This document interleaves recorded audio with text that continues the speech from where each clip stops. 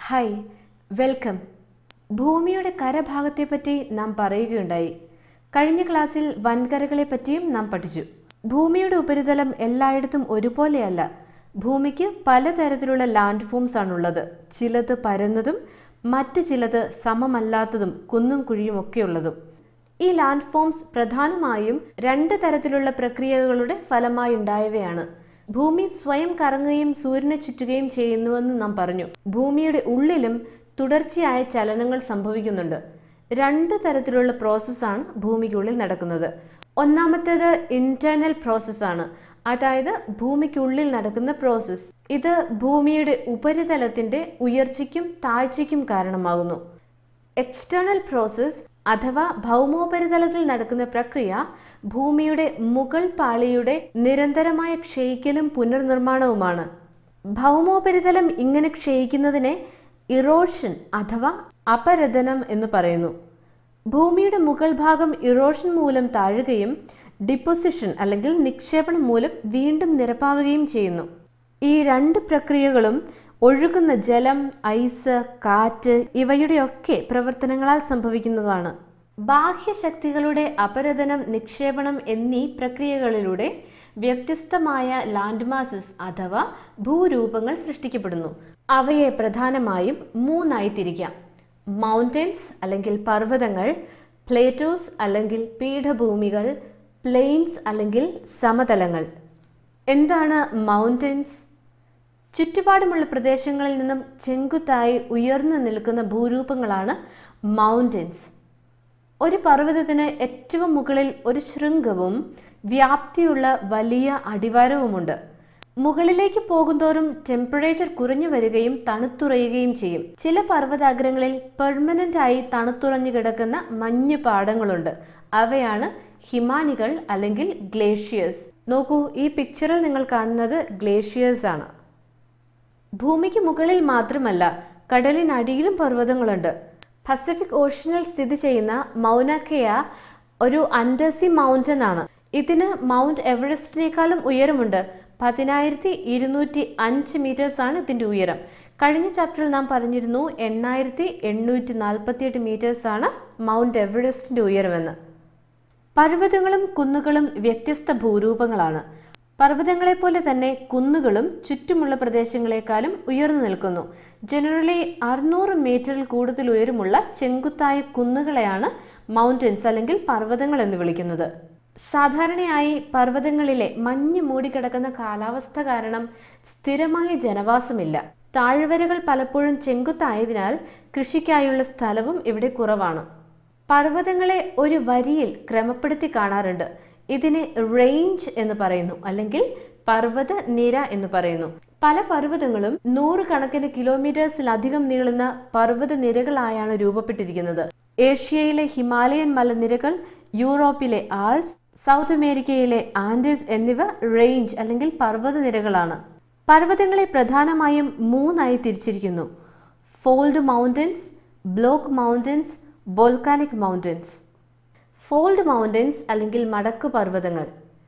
ഭൂമിയുടെ ഭൗമോപരിതലത്തിലെ പാളികൾ അല്ലെങ്കിൽ ഫലകങ്ങൾ ഇരുവശത്തു നിന്നുമുള്ള കംപ്രഷൻ വഴി അകത്തേക്ക് മടങ്ങി ഉണ്ടാകുന്നവയാണ് ഫോൾഡ് മൗണ്ടൻസ് ഇത് കണ്ടോ? ഈ ഡെമോൺസ്ട്രേഷനിൽ കാണിച്ചിരിക്കുന്നത് പോലെ ഭൂമിയുടെ മുകളിലുള്ള പാളികൾ ഇരുവശത്തു നിന്നും അകത്തേക്ക് കംപ്രസ്ഡ് ആകുമ്പോൾ ഭൂരൂപങ്ങൾ ഇങ്ങനെ മടങ്ങിയ പോലെയാകുന്നു. ഇങ്ങനെയാണ് മടക്ക് പർവതങ്ങൾ രൂപപ്പെടുന്നത്. ഹിമാലയൻ മൗണ്ടൻസും ആൽപ്സിലെ മലനിരകളുമൊക്കെ മടക്ക് പർവതങ്ങളാണ്. ഇത് ആൽപ്സിന്റെ ഒരു പിക്ചറാണ് അവയ്ക്ക് റഗ്ഡ് അല്ലെങ്കിൽ സമമല്ലാത്ത റിലീഫ് ഉണ്ട്. എന്താണ് റിലീഫ് പർവതങ്ങളുടെ ഏറ്റവും ഉയർന്ന പോയിന്റും ഏറ്റവും താഴ്ന്ന പോയിന്റും തമ്മിലുള്ള ഡിഫറൻസ് ആണ് റിലീഫ് എന്ന് പറഞ്ഞ. കോൺ ആകൃതിയിലുള്ള കൊടുമുടിയും അവയുടെ പ്രത്യേകതയാണ്. ഇന്ത്യയിലെ രാജസ്ഥാനിലുള്ള ആരവല്ലി പർവതനിരകൾ ലോകത്തിലെ ഏറ്റവും പഴയ മടക്ക് പർവതങ്ങളിൽ ഒന്നാണ് നോർത്ത് അമേരിക്കയിലെ ദി അപ്ലാച്ചെ റഷ്യയിലെ ദി യുറാൽ മൗണ്ടൻസ് എന്നിവ റൗണ്ടഡ് ഫീച്ചേഴ്സ് അല്ലെങ്കിൽ ഉരുണ്ട പർവത ശൃംഖമുള്ളതും അധികം ഉയരമില്ലാത്തതുമായ പഴയ മടക്ക് പർവതങ്ങളാണ്. ഇത് കണ്ടോ? ഇത് യുറാൽ മൗണ്ടൻസിന്റെ ഒരു വ്യൂ ആണ്.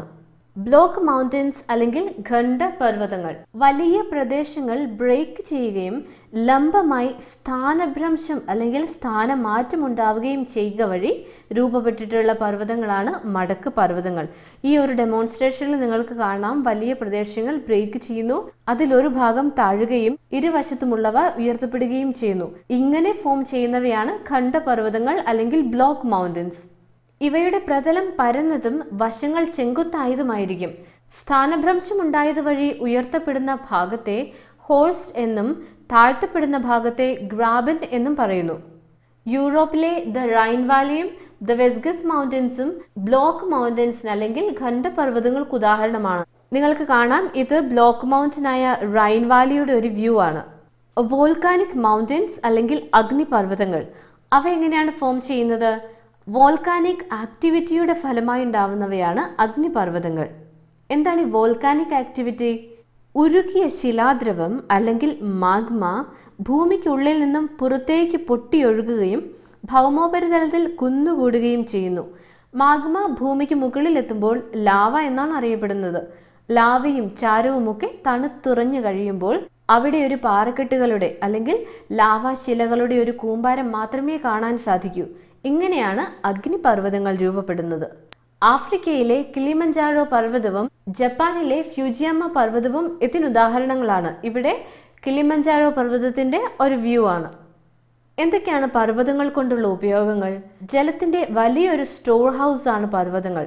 ഒത്തിരി നദികളുടെ ഉത്ഭവസ്ഥാനം പർവതങ്ങളിലെ ഗ്ലേഷ്യേഴ്സ് അല്ലെങ്കിൽ ഹിമാനികളാണ്. ഈ ജലം മനുഷ്യർ വിവിധ ആവശ്യങ്ങൾക്കായി ഉപയോഗിക്കുന്നു.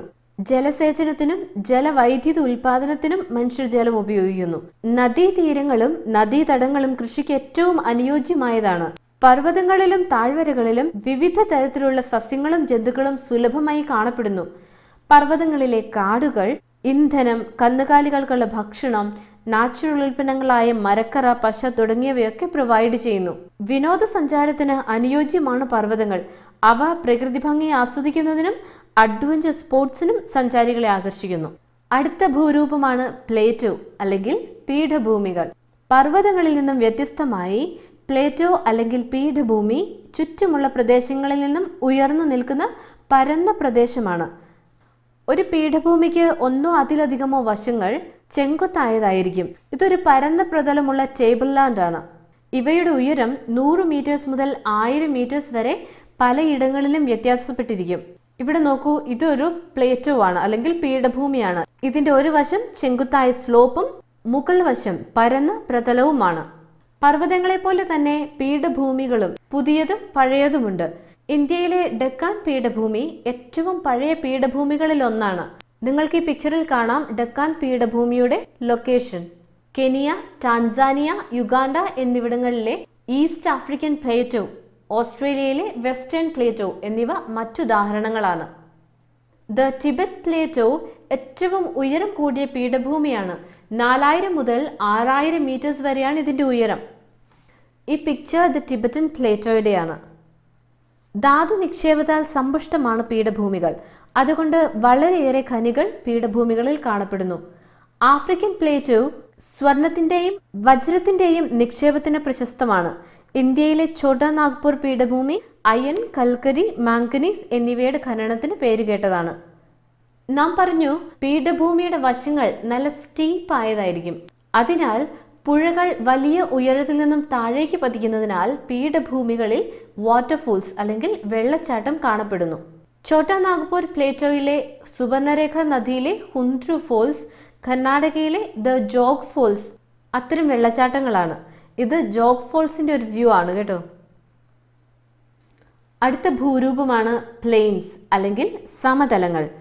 താരതമ്യേന താഴ്ന്നതും നിരപ്പായതുമായ വിശാല പ്രദേശങ്ങളാണ് സമതലങ്ങൾ. അവ പൊതുവെ സീ ലെവലിനേക്കാളും ഇരുന്നൂറ് മീറ്ററിലധികം ഉയരെ ആവാറില്ല. ചില സമതലങ്ങൾ എക്സ്ട്രീംലി ഫ്ലാറ്റ് ആണ്. മറ്റു ചിലതാകട്ടെ ഉയർച്ച താഴ്ചകളുള്ളതും വളഞ്ഞു പൊളഞ്ഞതും ഒക്കെ ആയിരിക്കും. നദികളുടെ പ്രവർത്തനങ്ങൾ വഴിയാണ് സമതലങ്ങൾ രൂപപ്പെടുന്നത്. പർവതങ്ങൾ പോലുള്ള ഉയർന്ന പ്രദേശത്തു നിന്നും ഒഴുകി വരുന്ന നദികൾ കല്ലുകൾ മണൽ ചരൽ തുടങ്ങിയവയും കൂടി ഒഴുക്കി കൊണ്ടുവരുന്നു. പിന്നീട് ഇവ അടിഞ്ഞാണ് പ്ലെയിൻസ് അല്ലെങ്കിൽ സമതലങ്ങൾ രൂപം കൊള്ളുന്നത്. ജനറലി സമതലങ്ങൾ ഫലഭൂയിഷ്ടമാണ് റോഡുകൾ പോലുള്ള ട്രാൻസ്പോർട്ട് നെറ്റ്വർക്കിന്റെ നിർമ്മാണത്തിന് ഏറ്റവും അനുയോജ്യമായ ഭൂപ്രദേശം സമതലമാണ്. അതുകൊണ്ട് തന്നെ ഈ പ്രദേശങ്ങളിൽ ജനവാസം കൂടുതലായി കാണപ്പെടുന്നു. ഏറ്റവും വലിയ സമതലങ്ങളിൽ മിക്കതും ഏഷ്യയിലും നോർത്ത് അമേരിക്കയിലും കാണപ്പെടുന്നു. ഏഷ്യയിൽ ഈ സമതലങ്ങൾ രൂപപ്പെട്ടിരിക്കുന്നത് ഗംഗ ബ്രഹ്മപുത്ര നദികളുടെ പ്രവർത്തന ഫലമായിട്ടാണ്. ചൈനയിൽ യാങ്സി നദിയുടെ പ്രവർത്തനത്തിന്റെ ഫലമായും. ഇത് യാങ്സി നദിയും അതിന്റെ പ്രവർത്തന ഫലമായി ഉണ്ടായ സമതലവുമാണ്. സമതലങ്ങൾ മനുഷ്യന്റെ ആവാസ വ്യവസ്ഥയിൽ ഒത്തിരി സ്വാധീനം ചെലുത്തുന്നുണ്ട്. മനുഷ്യവാസത്തിന് ഏറ്റവും അനുയോജ്യമായ ഭൂപ്രദേശമാണിത്. വീടുകൾ നിർമ്മിക്കുന്നതും താരതമ്യേന എളുപ്പമാണ്. വളക്കൂറുള്ള മണ്ണായതിനാൽ കൃഷിക്ക് ഏറ്റവും ഉതകുന്നതാണ് സമതലങ്ങൾ. സിന്ധു ഗംഗ സമതലമാണ് ഇന്ത്യയിലെ ഏറ്റവും കൂടുതൽ ജനവാസമുള്ള പ്രദേശം. പർവതങ്ങൾ പീഠഭൂമികൾ സമതലങ്ങൾ ഈ ഭൂരൂപങ്ങളെപ്പറ്റി നാം പഠിച്ചു കഴിഞ്ഞു. മനുഷ്യർ വ്യത്യസ്തങ്ങളായ ഇത്തരം ഭൂപ്രദേശങ്ങളിൽ അധിവസിക്കുന്നവരാണ്. കൃഷി ചെയ്യാനും വീടുകളും റോഡുകളും നിർമ്മിക്കാനും ഏറ്റവും എളുപ്പം സമതലങ്ങളിലാണ്. പർവതങ്ങളിൽ മനുഷ്യജീവിതം ബുദ്ധിമുട്ടാണ്. എങ്കിലും മനുഷ്യർ പല രീതിയിലും ഈ ബുദ്ധിമുട്ടുകളെ മറികടക്കാൻ ശ്രമിക്കുന്നു.